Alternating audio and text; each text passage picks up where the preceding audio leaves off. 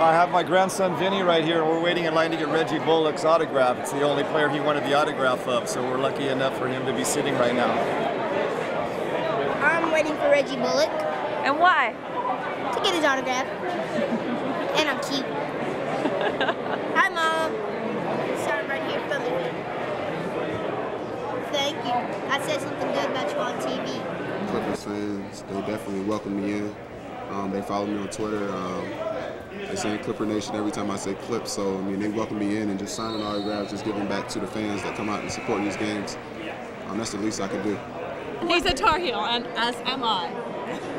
Congratulations. How long have you followed Reggie through his career? Uh, I watched him through his three years at North Carolina.